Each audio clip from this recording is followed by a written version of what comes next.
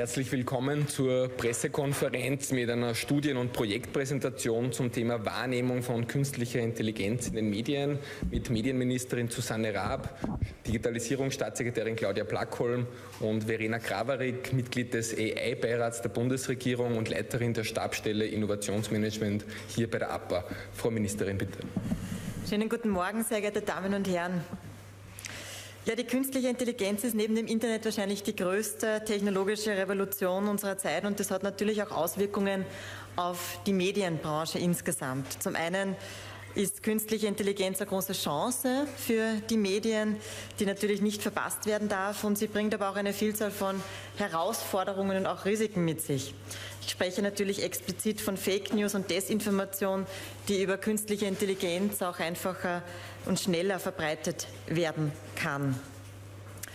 Was tun wir jetzt dagegen? Zum einen die europäische Antwort und unser rechtsstaatliches Mittel gegen die Verbreitung von Desinformation, von Fake News und auch gegen den falschen Einsatz von künstlicher Intelligenz ähm, begegnen wir mit dem Digital Services Act, wo jetzt erstmals EU-weit Internetdienste und Suchmaschinen auch in die Pflicht genommen werden gegen illegale Inhalte und Desinformation vorzugehen, vorzugehen. Der ist ja seit Februar auch in Österreich in Kraft. Und zum Zweiten gibt es ein wesentliches europäisches Rechtsmittel, nämlich den AI Act, auf den sich alle EU-Mitgliedstaaten verständigt haben. Ähm, wo wir bereits vor Inkrafttreten des AI-Acts eine KI-Servicestelle eingerichtet haben mit einem expliziten Fachbereich Medien, die Frau Staatssekretärin ähm, weiß natürlich äh, am allerbesten, dass KI ein viel breiterer Bereich ist und unterschiedliche Lebensbereiche abdeckt. Aber wir haben hier diese Zusammenarbeit gerade im Medienbereich, wo wir eben auch explizit in der KI-Servicestelle einen eigenen Medienbereich auch angeschlossen haben. Klar ist natürlich für uns, für die Medien, für mich auch als Medienministerin, dass die Medien eine ganz zentrale und tragende Rolle bei der Prüfung von Inhalten haben, die verbreitet werden und gleichzeitig die Medien aber auch die Chancen nützen, die durch künstliche Intelligenz sich ergeben. Qualitätsmedien, die wir in Österreich haben, sorgen für geprüfte und faktenbasierte Inhalte und dabei kann auch künstliche Intelligenz unterstützen, indem man eben schnell größere Datenmengen auch analysieren kann. Letztendlich muss natürlich die Letztentscheidung, was an Informationen verbreitet wird, was veröffentlicht wird, immer beim Journalisten und bei der Journalistin, ähm, bei den Medien, beim Menschen sozusagen selbst bleiben. Die künstliche Intelligenz ist vielfach in unserem Alltag angekommen und teilweise ist es aber so, dass es nicht nur der Roboter ist, an den wir oft denken, wenn wir von künstlicher Intelligenz sprechen, sondern es ist natürlich viel breiter und viel realitätsnah. Es geht um Algorithmen auf den Social-Media-Plattformen, es geht um Sprachassistenten, es geht um Textgeneratoren wie ChatGPT äh, es geht um Smart Cities, um Einsatz von Drohnen in der Landwirtschaft und so weiter. Eine Umfrage des Markt- und Meinungsforschungsinstituts äh, Market Agent hat ergeben, dass in der Altersgruppe von 12 bis 28 Jahren bereits jeder Dritte ähm, auch mit ChatGPT äh, arbeitet und so auch schon mit künstlicher Intelligenz unter anderem in Berührung gekommen ist. Ähm, wir wollen die Chancen von modernen Technologien, die die künstliche Intelligenz bietet, nutzen und wir wollen natürlich auch, dass hier realitätsnahe auch über den Einsatz von künstlicher Intelligenz berichtet wird, um die Menschen auch auf diesem Weg der technischen Revolution mitzunehmen. Um die Menschen auf diesem Weg mitzunehmen, hat eben auch die mediale Bildsprache eine ganz zentrale Rolle damit unsere Medien, besonders auch die kleinen Medienhäuser mit realitätsnahen Abbildungen von künstlicher Intelligenz auch hier diese zur Verfügung haben, wurde eben eine ähm, Bilderstrecke ähm, in Auftrag gegeben, diese zu erstellen. Ähm, wo es eben auch darum geht, vielleicht gewisse Stereotype Fallen in diese nicht hineinzutappen, wo man eben beispielsweise auch ähm, Frauen gleichermaßen abbildet wie Männer, wenn es um den Einsatz von künstlicher Intelligenz geht. Auch das war mir besonders wichtig, damit wir eben hier auch womöglich neue Berufsfelder für Frauen attraktiv machen im Bereich der technischen Entwicklung und technischen Revolution. Ich glaube, es ist ganz wichtig, dass die Medien, ähm, gerade wie gesagt kleine Medienhäuser, diese Bilder auch zur Verfügung gestellt bekommen, ohne Lizenzgebühren zur Verfügung gestellt bekommen. Deshalb bedanke ich mich auch ähm, mit, bei der Zusammenarbeit mit dem Staatssekretariat für Digitalisierung, um eben hier für die Medienlandschaft, für die Zukunft auch die technologische Entwicklung der künstlichen Intelligenz mitbegleiten zu können. Ich darf für die Vorstellung des konkreten Projekts an die Frau Staatssekretärin übergeben. Vielen Dank. Ja, einen wunderschönen guten Morgen auch von meiner Seite, geschätzte Medienvertreterinnen, liebe Medienvertreter. Wenn wir an künstliche Intelligenz denken, dann geht vermutlich einem jeden ein anderes Bild durch den Kopf. Die einen werden an die bereits angesprochenen Roboter mit menschlichen Zügen denken, die anderen haben im Kopf eher so ein Bild von einer Wolke aus Daten. Wiederum andere sehen es als Unterstützung für den Alltag und andere doch eher als Bedrohung. Und wie wir die Welt sehen und welches Bild wir von neuen Technologien haben, das hängt natürlich auch sehr stark davon an, ab, wie es auch bebildert wird, wie es natürlich auch öffentlich bebildert wird und wie Medien dieses Thema präsentieren und welche Darstellungen sie hier sozusagen auch verwenden. Ich kann es gut verstehen, dass künstliche Intelligenz und neue Entwicklungen durchaus auch zuerst etwas äh, ja, negativ konnotiert sind, ähm, dass man es in Verbindung bringt mit eher auf den ersten Blick negativen Gedanken, weil es etwas Neues ist, weil es etwas Fremdes ist, weil es etwas ist, was einem noch nicht so in der Art und Weise vertraut ist, schon gar nicht im Alltag. Und dennoch bin ich davon überzeugt, dass wir diesen Technologien sehr offen gegenüberstehen müssen, weil wir unseren Wohlstand, unsere wirtschaftliche Stärke nur dann erhalten können, wenn wir auch diese Entwicklungen gut für uns nutzen können und wenn wir hier auch vorne mit dabei sind als Standort Österreich, als Standort Europa. Themen wie künstliche Intelligenz kann ein jeder positiv, negativ oder eben auch neutral sehen, je nachdem, was wir darüber hören, was wir sehen oder eben auch lesen. Und hier setzen wir als Bundesregierung an und haben daher die Austria Presseagentur beauftragt, dass sie eine vergleichende Studie auch durchführt zu diesem Thema.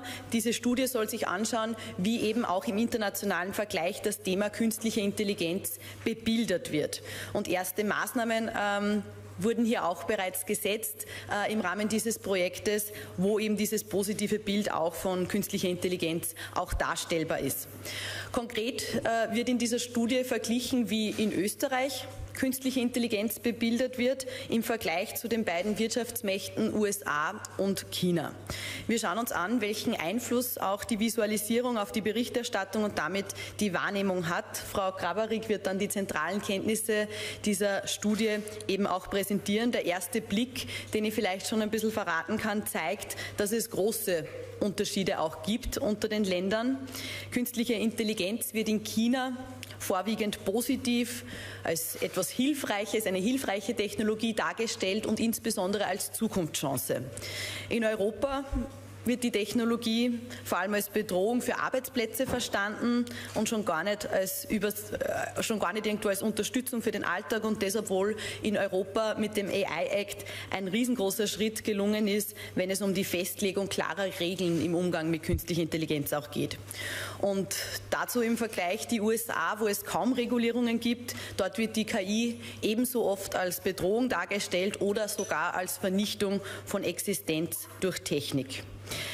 Als Bundesregierung bekennen wir uns dazu, dass wir die Digitalisierung und den Einsatz moderner Technologien weiter positiv voranbringen wollen. Und für uns ist der Grundsatz, dass der Mensch im Mittelpunkt steht, dass sich der Mensch dieser Technologien einfach auch zunutze machen soll und den digitalen Wandel proaktiv positiv gestaltet. Und um dieses Ziel zu erreichen, haben wir bereits viele Maßnahmen gesetzt. In Europa, er wurde bereits angesprochen, haben wir den AI Act erst kürzlich verabschiedet, einen flexiblen Rechtsrahmen Rahmen, äh, den wir hier entwickelt haben. Wir gehen in Österreich mit einer eigenen KI-Servicestelle bei der RTR voran und wir haben zudem auch einen KI-Beirat ins Leben gerufen, der uns als Bundesregierung berät und auch die Umsetzung des AI-Acts äh, hier mitbegleitet und durch viele Chancen durch den Einsatz künstlicher Intelligenz auch unterstützt. Wir haben eine eigene KI-Strategie vorgestellt, die wir ähm, als moderner Staat natürlich auch Schritt für Schritt umsetzen. Und wir legen im Rahmen der digitalen Kompetenzoffensive, die bereits seit einigen Monaten läuft, einen besonderen Schwerpunkt auf das Thema KI-Literacy, wo wir alle Generationen eben auch versuchen zu erreichen und mit Fakten und Wissen einfach auch die breite Bevölkerung informieren wollen. Das ermöglicht Bürgerinnen und Bürgern einen kritischen, effektiven und vor allem einen sinnvollen Umgang mit KI-Technologie. Sie sehen also, wir setzen sehr, sehr viele Maßnahmen in diesem Bereich, um den Weg in die digitale Zukunft bestmöglich gemeinsam zu bestreiten und ihn auch zu unterstützen. Und wie bereits anfangs erwähnt, wie wir die Welt sehen, welche Eindrücke wir von neuen Entwicklungen und Technologien auch bekommen, ist abhängig, wie uns das Thema irgendwo auch dargestellt und präsentiert wird, welche Bilder zur Illustration verwendet werden. Und deswegen haben wir gemeinsam mit der APA Bildredaktion eine eigene Bilddatenbank für alle Medien geschaffen. Das ist ein Angebot, das ähm, der österreichischen Version von einer digitalen Verantwortungsgesellschaft einfach auch Rechnung trägt und unsere europäische Haltung gegenüber künstlicher Intelligenz auch entspricht. Vielen Dank äh, an, die, an das Team der Austria Presseagentur für die Durchführung dieser Studie. Vielen Dank, Frau Graberig, dass Sie hier auch als Mitglied des KI-Beirates äh, immer mit Rat und Tat auch zur Seite stehen und dass solche Projekte eben auch umgesetzt werden können. Dankeschön. Frau Graberig, bitte. Ja, danke schön. Mir obliegt es jetzt ein bisschen in die Studie einzuführen und ich glaube, wir haben heute schon einiges dazu gehört, ähm, wie künstliche Intelligenz unsere Wahrnehmung auch und äh, prägt. Äh, das, was wir sehen, ist das, was wir oft fühlen. Das, was wir heute mit sehr schönen, oft sehr durch generative künstliche Intelligenz gepromptet sehen, ist das, was wir uns vorstellen oft. Ja. Es ist nicht die Realität, es ist eine Form der Wahrnehmung. Ähm, aus diesem Grund äh, haben wir diese, diese Studie in diesem Setup aufgesetzt. Der Untersuchungszeitraum äh, der Studie selber lag schon im vergangenen Jahr. Ähm, wenn jetzt die neuen Bilder kommen, werden wir vielleicht noch mal eine Folge äh, machen, wie sich das auch verändert hat. Äh, damals war gerade so die Schnittstelle, dass sich begonnen hat, dieses oft sehr menschenzentrierte Bild, da, die die Technik beherrscht, ein wenig umzukehren äh, und wir plötzlich Bilder gesehen haben, wo die Technik den Menschen bestimmt. Äh, untersucht wurden Artikel, jeweils 100 Stück aus USA, aus Europa und China. Und vielleicht für alle, die sich fragen, was war denn aus Europa dabei? Aus Österreich natürlich repräsentative Medien wie Standardpresse, aber auch ORF, AT und so weiter, die NZZ zum Beispiel, der Spiegel. Also wirklich große Medienhäuser, die sich diesem Thema widmen. Ähm, und für, das, für, das, äh, für den inhaltlichen Fokus ging es wirklich darum zu sagen, wenn KI vorkommt im Artikel, wie schaut die Bebilderung dazu aus. Auftraggeber, wie gesagt, war der Staatssekretariat für Digitalisierung und aus dieser Studie heraus ist eigentlich das Erkenntnis entstanden, wenn wir mehr Realismus wollen, müssen wir wohl ran und selber Fotos produzieren. Ich habe Ihnen hier den Vergleich mitgebracht. Ähm, es ist sehr, sehr eindrücklich in Europa ist mit 45 Prozent die Bedrohung im Vordergrund und 28 Prozent sehen es als Zukunftschance. 53 Prozent der, der Bilder, die gefunden worden sind in den USA als Bedrohung zu sehen und ganz, ganz, ganz konträr dazu äh, in China mit 82 Prozent als Zukunftschance. Ähm, die meisten Bilder, die hier gemacht werden, sind natürlich keine Fotos, die hier zu sehen sind, sondern vor allem schwerpunktmäßig Illustrationen. Das zieht sich eigentlich durch alle, äh, alle Samples hindurch. Und die Motive, das Top-Motiv, das sich auch durch alle hindurchzieht, ist eigentlich der Roboter. Ist der Roboter und zwar oft der vermenschlichte Roboter. Nicht der Industrieroboter, den wir auch alle kennen, sondern der der anthropomorphe Roboter, der humanoide Roboter, der in allen möglichen Szenarien auftritt. Sie können sich Bilder äh, vorstellen in den USA, in dem größten Bedrohungsszenario, die Terminator-like sind. Ich glaube, dieses Bild hat jeder von Ihnen im Kopf. Äh, in China im anderen Extrem ist es die kreative Muse, die äh, künstlerisch, kreativ äh, Neues entstehen lässt, also eine ganz andere Konnotierung. Ähm, der Top-Tätigkeitsbereich, der sich auch durch alles durchzieht, ist eigentlich überall auch die Arbeitswelt. Und für die, für die äh, Geschichte, für, wenn man vielleicht noch ein bisschen hinein äh, betrachtet ist, wir haben uns sehr stark auch Farbgebungen angeschaut. Es wird sehr oft sehr mit sehr kalten und sehr intensiven Farben auch gearbeitet. Die Themen, die vorkommen, sind in Europa Arbeit, Recht, Ethik und Gesellschaft. Ähm, in den USA ist das eher mehr Meinungsartikel zum Beispiel, aber auch dann Technik vor Recht äh, und Gesellschaft an erster Stelle. Also da sehen wir auch in den Themen ein bisschen unterschiedliche Geschichten. Was, wir, was uns aufgefallen ist, ist, dass es sehr oft keine Bildtexte gibt. Und Lassen Sie mich ein Wort sagen, dort wo keine Bildtexte sind, sind oft auch schwierig mit Credits und überhaupt mit einer Kennzeichnung. Vielleicht kommen wir auf das dann auch nachher noch zurück. Also klare Unterschiede, Arbeitsplatzverlust und Bedrohung in Europa, die dystopischen Szenarien, die KI als konstruktives und produktives Werkzeug in China und ähm, von, den, von den Motiven die Roboter noch einmal. Was war dann sozusagen der, die Schlussfolgerung? Ähm, wenn wir es brauchen, müssen wir die Bilder shooten. Möchten wir eher in den illustrativen Bereich gehen? Möchten wir eher in einen, vielleicht sogar in einen generierten Bereich gehen? Die Entscheidung ist dann gefallen auf Nein, es soll das echte Leben gezeigt werden. Und zu diesen Themen, die Sie hier sehen, ist KI im Alter, KI in der Landwirtschaft, Smart City Wien, äh, dann ein, ein, Bereich sozusagen KI kann uns erleuchten, wurde das genannt, und die ASA Elektroniker äh, sind bereits fertig. Die letzte Bildstrecke wird im Sommer fertiggestellt. Das ist KI in der Medizin.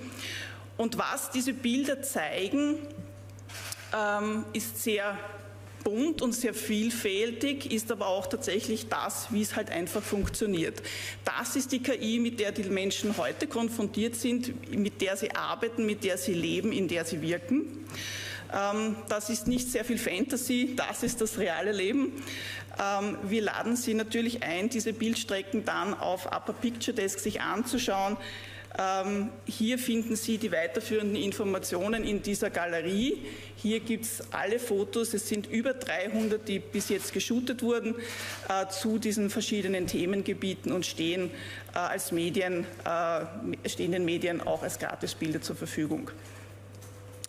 Ähm, vielleicht eine Sache noch, die, die wichtig ist. Äh, Sie sehen hier Bilder, an die sonst man nicht so schnell rankommt. Es sind Bilder, wo auch in den Schaltzentralen der Macht äh, die Türen und Tore geöffnet worden sind. Also es ist auch ein sehr exklusives Bildmaterial, das hier zur Verfügung steht.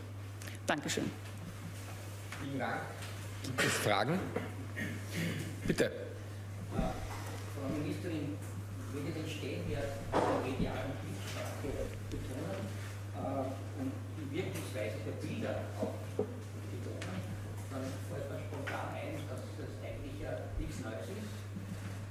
Im Marketing äh, ist die Bildsprache ganz wesentlich. Äh, das Auge ist der erste Richter und ein Bild sagt mehr die tausend Worte. So viel Text kann ich gar nicht einbinden, ich brauche ein Bild zum Auge.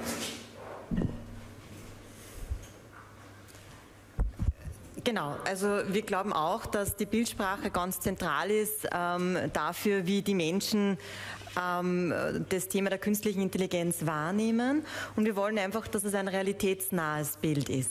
Wir wollen, dass der Einsatz der künstlichen Intelligenz, wie er derzeit in Österreich stattfindet, realitätsnah abgebildet wird. Ähm, wir wollen, dass natürlich auf der einen Seite die Chancen auch unterstrichen werden, die diese neue technologische Entwicklung, ja technologische Revolution mit sich bringt. Auf der anderen Seite ist natürlich auch klar, dass es Herausforderungen und Risiken gibt, die man nicht äh, beiseite schieben kann. Dafür haben wir gute Rechtsinstrumente und einen guten Rechtsrahmen geschaffen und wir haben, wie gesagt, äh, Expertinnen und Experten, gerade in der KI-Servicestelle, die den Weg der Implementierung der technischen ähm, Entwicklung, auch der künstlichen Intelligenz in Österreich, sowohl rechtlich als auch praktisch in unterschiedlichen Lebensbereichen beraten. Das weitere Fragen. Bitte. Ähm, ich überlege gerade, ehrlich gesagt, ich habe immer noch nicht ganz verstanden, warum es diese 300 Bilder braucht, äh, für wen die jetzt sind und was das bewirken soll im Endeffekt. Und ich habe unter dem KI-Beirat auch ein bisschen verstanden, dass der sich mit den Gefahren von KI beschäftigt und vielleicht Lösungen aufzeigt. Hm, jetzt vor kurzem wurden da wieder äh, in den USA Fabriken ähm, ähm, ähm, aufgedeckt, die ich weiß nicht, wie viel Fake-Profile in sozialen Medien ähm, kreieren, äh, wo über KI in Sekundenschnelle wahlbeeinflussende, politikbeeinflussende Inhalte gepostet werden können. Beschäftigt man sich mit diesen Themen auch? Frau Staatssekretärin zuerst vielleicht und dann Frau Graurig. Vielen Dank für die Frage. Ähm, was wollen wir damit bezwecken? Natürlich, dass künstliche Intelligenz im Gespräch ist. Dafür hat, glaube ich, die Entwicklung von ChatGPT in den letzten Monaten sehr deutlich gesorgt. Ich denke, der ein oder andere wird schon selbst davon Nutzen gemacht haben und sich das Ding einmal angeschaut haben, die Technologie, aber weiß noch nicht so recht, wie er damit umgehen kann. Und deswegen setzen wir als Bundesregierung viele, viele unterschiedliche Maßnahmen. Eine davon habe ich bereits auch angesprochen, die digitale Kompetenzoffensive, um einfach Menschen auch einen mündigen, einen kritischen kritischen und verantwortungsvollen Umgang mit künstlicher Intelligenz überhaupt erst zu ermöglichen, allen Generationen zu ermöglichen. Und natürlich hängt das eigene Bild von künstlicher Intelligenz, ob es ein positives Erlebnis ist, ob es etwas Negatives ist, das ich als reine Bedrohung meiner eigenen Existenz beispielsweise auch sehe in den Extremfällen, ähm, damit zusammen, wie künstliche Intelligenz auch dargestellt wird. Und am Ende des Tages ist es, auch dazu gibt es viele Studien, eine davon habe ich vor wenigen Tagen erst präsentieren dürfen bei Accenture, Natürlich ist es am Ende des Tages eine riesengroße Chance für uns als Standort. Wenn wir auf künstliche Intelligenz setzen, wenn unsere Unternehmerinnen und Unternehmer auf künstliche Intelligenz setzen, wenn wir auch ähm, im Bereich der Bildung, in der Berufsausbildung hier mehr Fokus darauf legen, dass wir IT-Fachkräfte auch in der Zukunft haben. Und da ist einer der Grundsteine eben auch die Haltung der Gesellschaft dem gegenüber. Und da wollen wir ähm, in Europa, in Österreich definitiv nicht Schlusslicht sein. Wir wollen unsere Vorreiterposition hier ausbauen und deswegen ein Angebot ähm, auch schaffen. Deswegen haben wir die Austria Presseagentur eben auch damit beauftragt, das einmal im internationalen Vergleich darzustellen und ein Angebot an unterstützenden Bildmaterialien den österreichischen Medienhäusern auch zur Verfügung zu stellen im Rahmen des Upper äh, Picture Desks. Ähm, es werden unglaublich viele Arbeitsplätze durch künstliche Intelligenz entstehen. Unterm Strich ist der Saldo positiv an Arbeitsplätzen, die geschaffen werden. Und auch, äh, wir, wir, sehen ähm, einen enormen Fachkräfte- und Arbeitskräftemangel, einen demografischen Wandel, der natürlich auch im Bereich der Gesundheit, der Pflege, der Medizin viele Änderungen erfordert. Und genau aus dem Grund ist es ja so wichtig, dass wir auch künstliche Intelligenz für uns nutzbar machen, wo auch immer, und das betone ich gerne ein weiteres Mal, der Mensch im Mittelpunkt auch stehen muss. Ministerin? Ja, noch zu Ihrer Frage betreffend Desinformation und Fake News. Ja, selbstverständlich. Also äh, gibt es umfassende Maßnahmen im Kampf gegen Desinformation und Fake News. Heute, was wir heute hier präsentieren, ist sozusagen ein Angebot durch die Austrian äh, Presseagentur für Qualitätsmedien in Österreich ähm, und für Medienhäuser in Österreich. Auf der anderen Seite steht natürlich die Nutzung von künstlicher Intelligenz, Sie haben Wahlbeobachtung angesprochen, Desinformation, Fake News im Bereich der sozialen Netzwerke. Also das möchte ich auf jeden Fall mal äh, voneinander trennen. Und ja, äh, es gibt umfassende Maßnahmen, sowohl legistisch, also rechtlich, als auch operativ im Kampf gegen Fake News. Ähm, unter anderem beispielsweise den Digital Services Act habe ich genannt, der ja genau darauf abzielt, dass Plattformen erstmalig in die Verantwortung genommen werden werden, wenn hier Fake News und Desinformation verbreitet wird, um eben hier auch rasch zu einer Löschung zu gelangen. Wie das aktuell äh, operativ umgesetzt wird, da gibt es ja ähm, sicher bekanntlichermaßen Arbeitsgruppen. Das Innenministerium hat hier die Federführung auch im Kampf gegen Desinformation und Fake News. Äh, beobachtet wir natürlich immer auch den Einfluss auf Wahlen und äh, in, in, diesem Bereich auch, äh, weil ja auch das, die Kompetenz der Wahl im Innenministerium Ministerium angesiedelt ist. Also hier braucht selbstverständlich im Bereich der Verbreitung auf, äh, auf Kanälen der sozialen Netzwerke ähm, auch höchstes Augenmerk und auch den Kampf gegen diese Desinformation. Wir halten das für eine große Gefahr. Ähm, was aber die äh, ähm, sozusagen klassischen Medien und Qualitätsmedien in Österreich betrifft, da wollen wir natürlich auch die technologische Entwicklung und die Darstellung dieser unterstützen. Gibt es weitere Fragen? Bitte einmal da. Sonst noch? Jawohl eine Zusatzfrage, aber die haben Sie eigentlich schon beantwortet. Gibt es strafrechtliche Konsequenzen für den Missbrauch äh, der künstlichen Intelligenz in Vorbereitung oder gibt es schon ganz konkrete Pläne, was man dagegen tun kann? Wenn ich hier vielleicht darauf eingehen darf, wir haben ja vor wenigen Wochen erst ähm, beim Rat für Telekommunikation den AI Act final verabschiedet. Der AI Act ist ein unglaubliches, äh, ja, äh, ein unglaubliches äh, Riesenprojekt gewesen. Die letzten zwei bis drei Jahre hat sich die Europäische Union sehr intensiv damit befasst und das wird auch nicht aufhören, weil natürlich gerade das Feld der neuen Technologien, der künstlichen Intelligenz ein unglaublich dynamisches ist. Ähm, der AI Act sieht vor, dass ähm, dass künstliche, die Anwendung von künstlichen Intelligenzen in vier Kategorien eingeteilt wird und wir auch klar definieren nach unseren europäischen, nach unseren demokratischen Werten, welche Formen von künstlicher Intelligenz wir erlauben und welche nicht. Also wir wollen nicht so wie in China, dass künstliche Intelligenz auch eingesetzt werden kann, um Verhaltensweisen der Bevölkerung beispielsweise aufzuzeichnen und zu beobachten, sondern wir wollen uns das Ding zunutze machen und den Mensch in den Mittelpunkt stellen. Und deswegen ist es ein, ähm, ein wichtiges Regelwerk, das wir damit geschaffen haben, aber gleichzeitig auch ähm, wir damit unsere Unternehmerinnen und Unternehmer, unsere Gründerinnen und, und Gründer auch ermutigen wollen, künstliche Intelligenz auch mutig einzusetzen, auch äh, nutzbar zu machen und äh, die, der AI-Act, der auf europäischer Ebene äh, beschlossen wurde, steht in diesen Monaten auch zur Umsetzung in Österreich an. Wir haben dafür als Unterstützung eben auch den KI-Beirat. Äh, wir haben diese KI-Servicestelle äh, bereits mit 1. Jänner eingerichtet und die äh, dient dann auch in, in, in, weiterer Entwicklung eben als KI-Behörde und äh, soll eben dann hier auch unterstützend zur Seite stehen, wenn es um die Umsetzung des AI-Acts eben geht. Jawohl. Dann die letzte Frage noch. Entschuldige. Also, ah, Frau Kawarek, bitte noch. Vielleicht Kawarek, lassen Sie mich ganz kurz die Frage zum KI-Beirat noch beantworten, weil ich glaube, das bleibt sonst ein bisschen im Raum stehen. Der KI-Beirat ist tatsächlich ein wissenschaftliches Beratungsorgan. Also es sind vor allem Menschen äh, aus, also Rektoren äh, drinnen, es sind äh, aber auch Leute aus der Technikfolgenabschätzung drinnen, aus dem, aus dem universitären Umfeld und, und ein paar Praktiker, die aus der rechtlichen Perspektive und eben halt ich aus der medialen Perspektive ein bisschen beraten. Und das, was wichtig ist, ist, wir schauen uns es sowohl als Chance, aber auch vor, dem, vor den Risiken an. Es ist eine sehr unaufgeregte Betrachtung der Themen, aber eine sehr ernsthafte und eine sehr wichtige, die wir da, und die wir da vornehmen. Und Umsetzungsmaßnahmen, die sozusagen aus den Ressorts kommen zu KI-Strategien, werden durch diesen Beirat äh, begutachtet und sich angeschaut. Das ist die Aufgabe dieses Beirates. Jawohl, bitte. Meine Frage geht äh, eher an dich, Verena.